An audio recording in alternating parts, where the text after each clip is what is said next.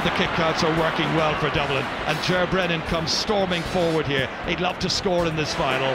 He was a doubt beforehand, nothing doubtful about that.